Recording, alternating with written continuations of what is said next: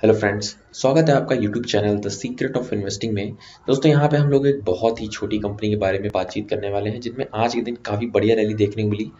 Stock का नाम आप लोग देख सकते हैं स्क्रीन के ऊपर जेन टेक्नोलॉजी लिमिटेड अगर हम लोग यहाँ पे सीधे न्यूज़ की बात करें तो दोस्तों आप लोग देख सकते हैं जेन टेक्नोलॉजी से रिलेटेड जो न्यूज़ निकल के आ रही है Zen technology get a order from Indian army the company has received a project section order PSO आप लोगों को यहाँ पे कंपनी को मिलता हुआ नज़र आ रहा है। यहाँ पे अगर किसी भी गवर्नमेंट के थ्रू किसी भी कंपनी को कोई ऑर्डर आता है तो इनडायरेक्टली काफ़ी बेहतरीन और पॉजिटिव न्यूज़ मानी जाती है, क्योंकि वो ऑर्डर जो है, आप लोगों को छोटा मोटा लगता नहीं है, क्योंकि वहाँ पे बहुत ही लंबे समय के लिए पीरियड आपको देखने को मिलता है। देख सकते हैं यहाँ पे, जो पीरियड है वो थर्टी वीक्स के अराउंड आपको देखने को मिल रहा है। तो यहाँ पे जो कंपनी है, वो काफ़ी चीज़ें आप लोगों को बनाती हुई नज़र आएगी। डिफेंस के लिए, एयर डिफेंस कॉम्पैक्ट स्टिमुलेटर बना के यूटीआरआर बनाती हुई नज़र आएगी तो ये सारी चीज़ें आपको देखने को मिलेगी। तो एक काफ़ी अच्छी पॉजिटिव न्यूज़ जेन टेक्नोलॉजी से रिलेटेड नज़र आ रही है। लेकिन यहाँ पे क्या आप लोगों को इन्वेस्टमेंट करनी चाहिए या नहीं करनी चाहिए, वो सबसे ज़्यादा इंपॉर्टेंट बात है। तो यहाँ पे अगर हम लोग बात करें, जो नेगेटिव पॉइंट है कंपनी के, वो आप लोग देख सकते हैं कि यहाँ पे अर्निंग थोड़ी बहुत सेल्स ग्रोथ देखने को मिल रही है गिरावट में minus one point one nine percent की।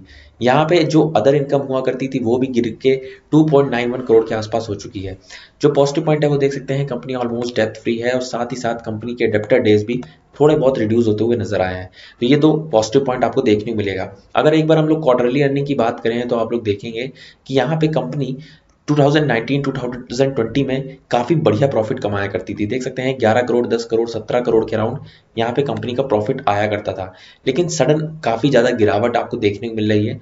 और देख सकते हैं 0.12 करोड़ 0.85 करोड़ इस तरीके का प्रॉफिट आपको यहाँ पे कंपनी कमा के दिखा पा रही है। तो यहाँ पे अभी बहुत डाउनग्रेड आपको कंपनी के नंबर्स देखने को मिल रहे हैं। अगर वापस से कंपनी इन नंबर्स को अचीव करती है तो डेफिनेटली आप लोगों को यहाँ पे देखने को मिलेगा कि लॉन्ग टर्म परस्पेक्टिव से थोड़ा बहुत आप लोग यहाँ पे इन्वेस्टमेंट करके चल सकते हैं।